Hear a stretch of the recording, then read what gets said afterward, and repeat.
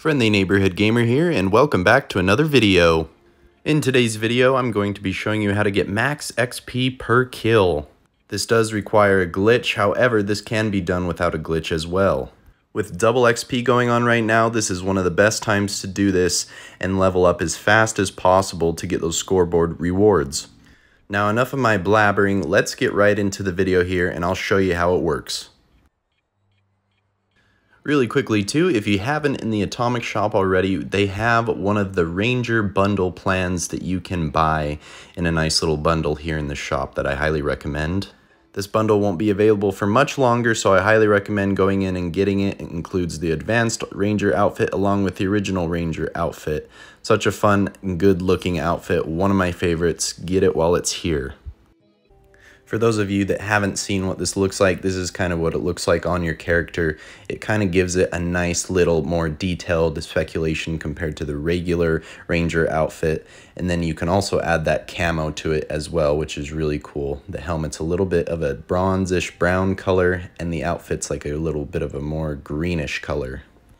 So I think this outfit is very ass pleasing aesthetically pleasing. Holy shit. Sorry about that. Can't talk today. But anyways, it's a good looking outfit. Highly recommend it. And it's such a good little addition to your character with the more detailed ranger outfit.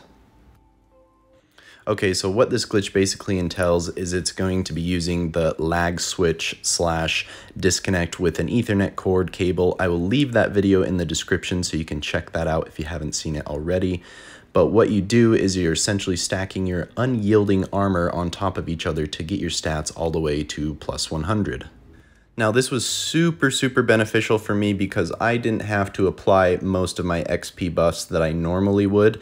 I did use the four lunch boxes as you can see, and I usually add like the inspirational perk card. I have it on, but I'm not really with another team right now, so I'm not getting that benefit.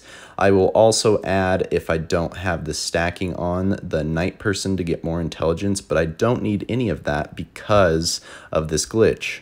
I also do have a leader bobblehead at play here, and I also do have the cranberry relish. But other than that, I am just using that method to get max XP per super mutant kill.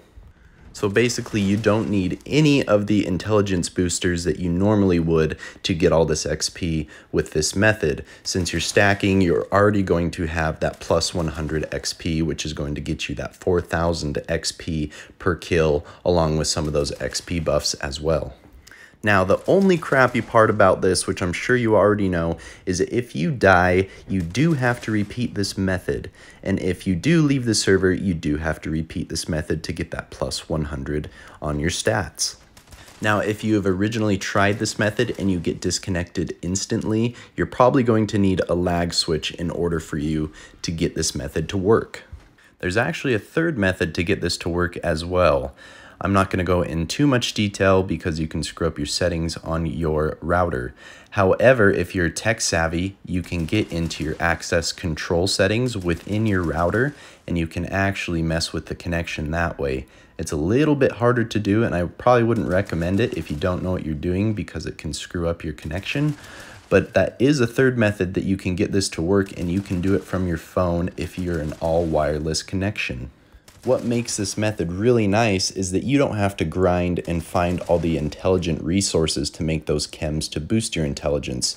You can quickly do it with the lag switch or disconnecting your ethernet cable method.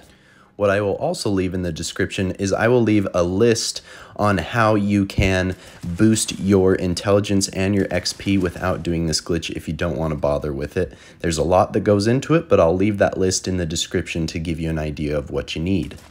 I will also show you here in Radiation Rumble, you get an insane amount of XP. Definitely the best event to join if you have these buffs on or if you've done this glitch, because holy cow, you get an insane amount of XP.